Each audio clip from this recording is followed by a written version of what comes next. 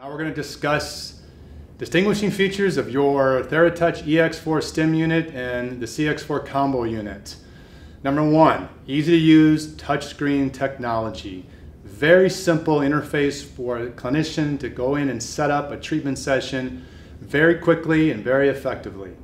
Number two, APTA preferred terminology for electrotherapy.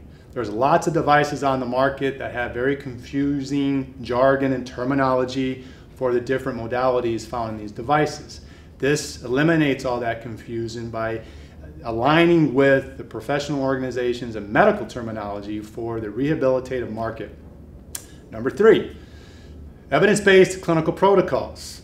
These are protocols built into the system that allow for easy user interface and delivering the therapy based on the literature. So anybody on your staff can feel confident about using the device effectively. Number four, fully adjustable on-off time adjustments. This is very important when you're looking at muscle strengthening protocols and approaches to getting your patient back to a more functional level of ability and mobility.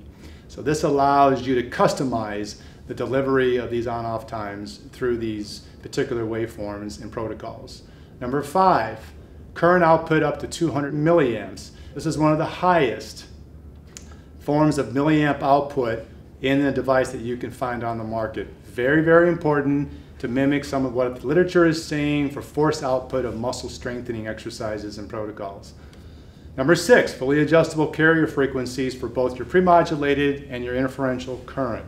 This is key because now you can specifically target key nerve fibers to help better manage pain. We all know pain is a big inhibiting factor to driving compliance to more functional rehab exercises.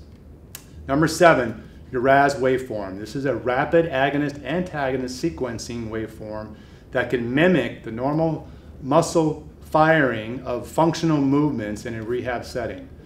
Number eight, ultrasound clinical protocols. Much like electrotherapy, we now have evidence-based clinical protocols for ultrasound. Number nine, enhanced combo ultrasound e-stim interface. Simply put, it's the easiest interface to set up a combo treatment very effectively and very quickly.